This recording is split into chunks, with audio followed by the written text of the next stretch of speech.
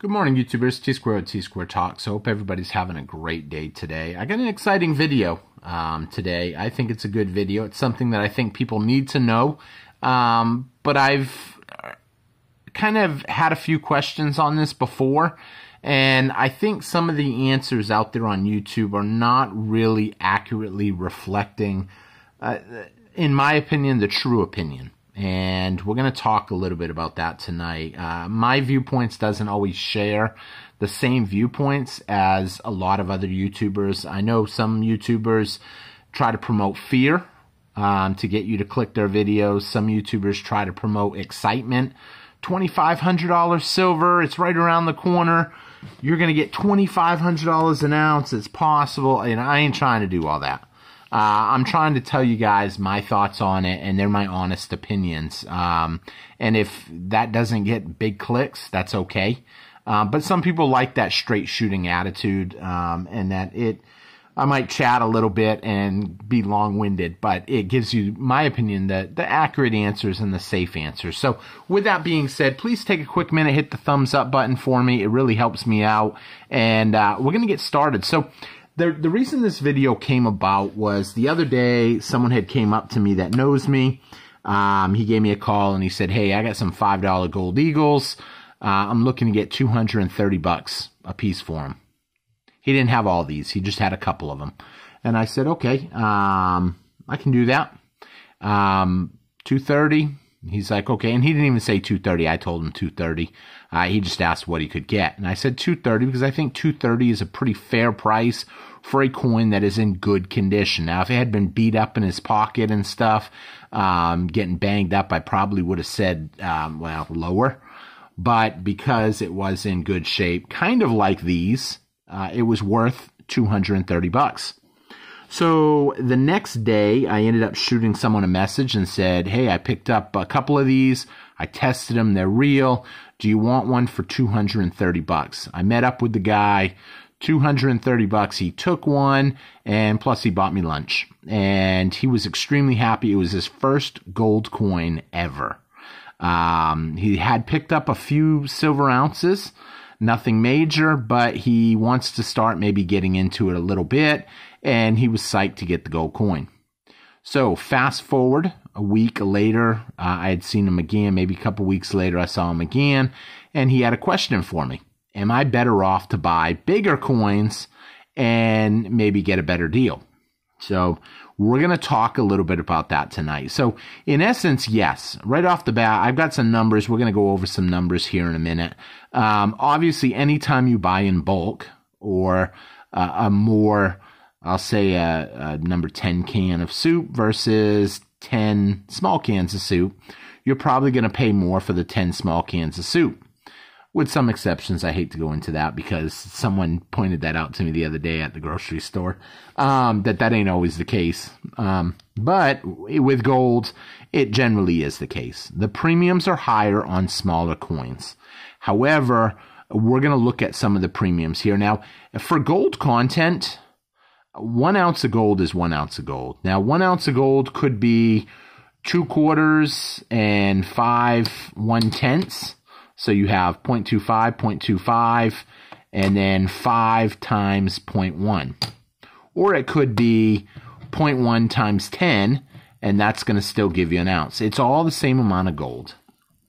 But first, before we get into the downfalls of this, we got to say the upfalls that or the the benefits. Um, if gold skyrockets tomorrow, I mean, right now a lot of people can't afford a two thousand and two thousand and one hundred and thirty dollar coin right this minute. Um, they can't afford that, so they're like, you know, that that's a lot spent, um, and so they don't get it.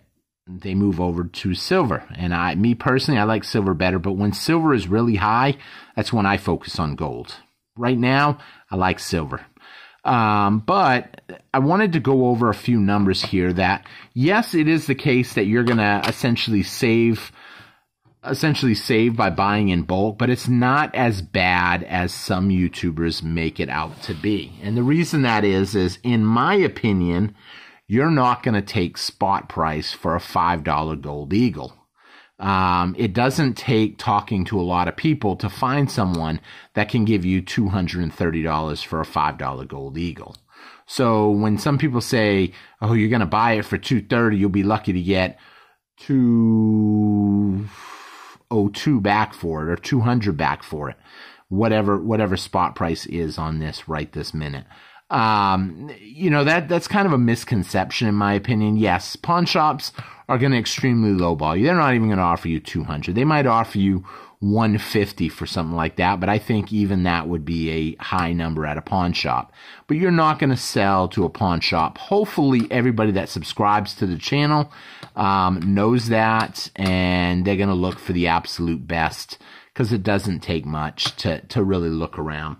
Uh, moving on though to actual numbers. So I did some averages earlier to calculate out average cost, uh, or pretty much I used right about where I think the best, you know, some of the best deals are.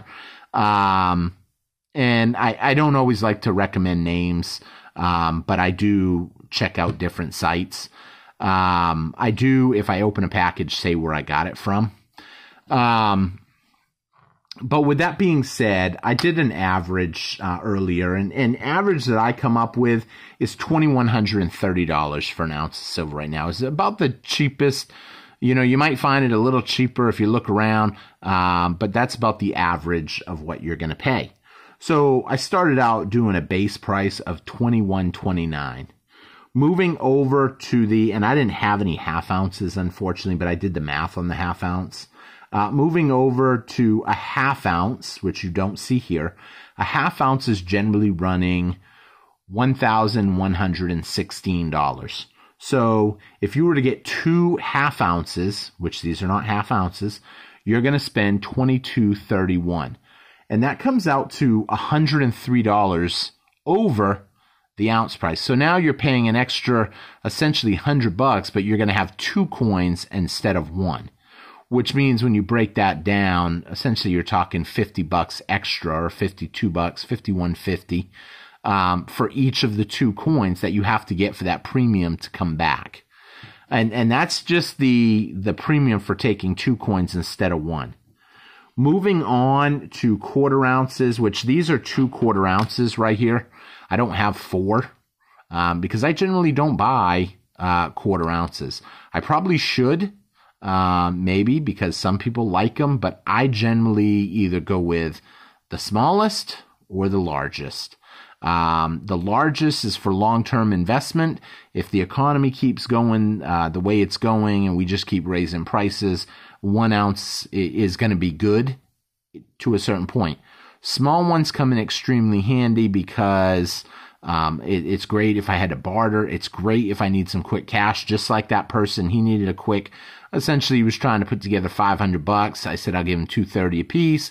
He got 460 there. Plus I think he had a couple other like small silver coins, um, just to round him up to the 500 for whatever his emergency was. I don't generally ask that, um, because it's not really important to me why they need the money.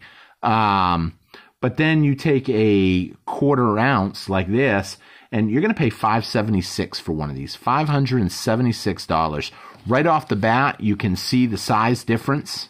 They're in clear capsules right now, all these ones, so you can see the difference in size as I line it up behind it. So you can see that it's bigger. It's a little bit thicker.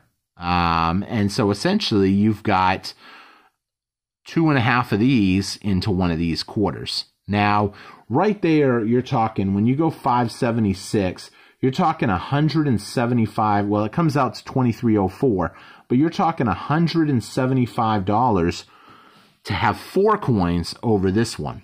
So essentially, you know, you're paying a little bit more for that. Um, fast forward, but we're going to get to this in just a minute here. Fast forward, I probably should keep that one over there so I don't accidentally give someone a, a quarter ounce for a tenth ounce. Fast forward to 10 of these right here.